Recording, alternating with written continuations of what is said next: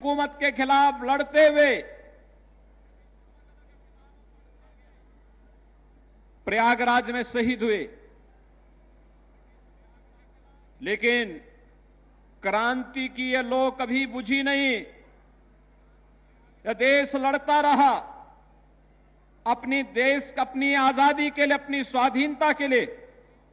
और उसी का परिणाम था कि राष्ट्रपिता महात्मा गांधी के नेतृत्व में चली देश की स्वाधीनता की इस लड़ाई में नेताजी सुभाष चंद्र बोस, सरदार वल्लभ भाई पटेल, भगत सिंह, राजगुरु,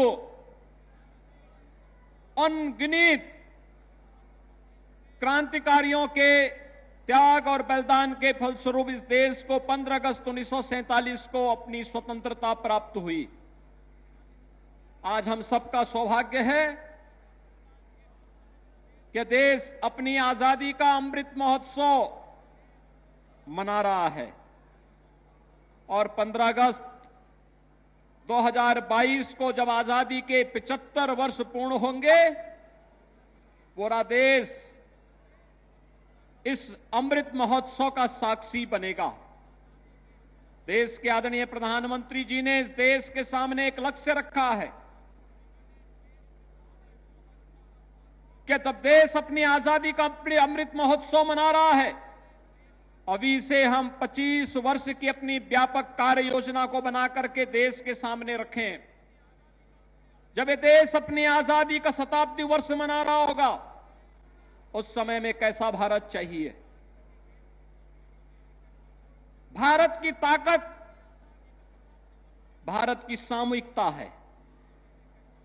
135 करोड़ की आबादी जब एक साथ बोलती है तो भारत दुनिया के अंदर सबसे बड़े लोकतंत्र के रूप में ही नहीं, बल्कि लोकतंत्र की माँ के रूप में भी दुनिया को प्रतिनिधित्व देते हुए, मार्गदर्शन करते हुए दिखाई देती है।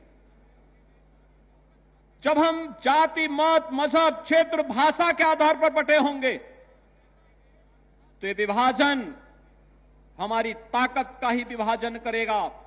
भारत को कमज़ोर करेगा विकास को बाधित करेगा अव्यवस्था अराजकता तमाम ऐसी विकृतियों को जन्म देगा जो फिर से देश की स्वाधीनता पर संकट खड़ा कर, कर सकता है। और इसलिए भाइयों बहनों सबसे बड़ा संकल्प हमारा होना चाहिए कि हम भारत को फिर से किसी भी प्रकार से कमज़ोर नहीं होने देंगे। पूरे भारत की एकता का संकल्प लेकर के उन विकृतियों को दूर करते हुए हम एक साथ मिलकर के कार्य करेंगे। और इसीलिए प्रधानमंत्री जी के संकल्प के साथ जुड़ करके उत्तर प्रदेश सरकार ने भी तय किया है कि उत्तर प्रदेश को हम आगामी पाँच वर्ष के अंदर देश की एक बड़ी अर्थव्यवस्था के रूप में स्थापित करेंगे। उत्तर प्रदेश के अंदर व्यवसाय की सुगमता इज़ ऑफ़ डूइंग बिज़नेस के लक्ष्य को प्राप्त करते हुए प्रत्येक नागरिक के जीवन को सहज और सरल बनाने में हम लोग अपना योगदान देंगे। उत्तर प्रदेश के नौजवानों के लिए हो, किसानों के लिए हो, महिलाओं के लिए, समाज के प्रत्येक तबके के लिए हम उस प्रकार की योजनाओं को लेकर के कार्य करेंगे, जो उत्तर प्रदेश को तो एक पहचान देगा ही। उत्तर प्रदेश के प्रत्येक नागरिक को सम्मान भी देगा और पहचान और सम्मान के बीच के समन्वय को आगे बढ़ाते हुए उत्तर प्रदेश को देश की सबसे बड़ी अर्थव्यवस्था के रूप में स्थापित करने के संकल्प को लेकर के हम सब आज काकोरी ट्रेन एक्शन की वर्षगांठ पर यहाँ पर उपस्थित हुए हैं। भाइयों बहनों, हमारे क्रांतिकारियों का बलिदान आज काकोरी जैसे स्थल को भी एक तीर्थ स्थल के रूप में स्थापित करते हुए लोक पूज्य बना लिया है। लोक पूज्य कोई धरती तब बन पाती है जब अनगिनित बलिदान होते हैं।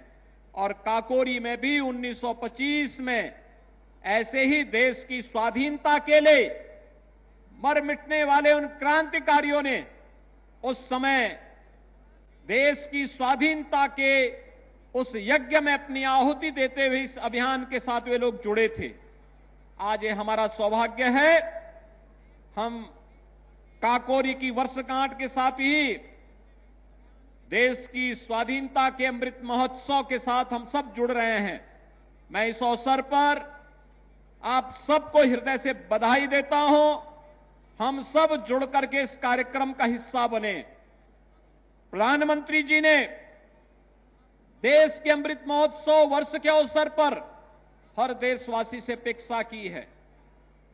इस पूरे अमृत महोत्सव के कार्यक्रम को जागरूकता के रूप में, हर घर तिरंगा के रूप में, जहाँ हमें आगे लेकर के चलना है, वहीं 14 अगस्त की तिथि भारत के विभाजन की विभीषिका दिवस के रूप में भी मना करके किस प्रकार की त्रासदी को उस समय लोगों को झेलने के लिए मजबूर होना पड़ा था। इस प्रकार की स्थिति फिर से कभी ना आए। उसे स्मरण करते हुए, देखते हुए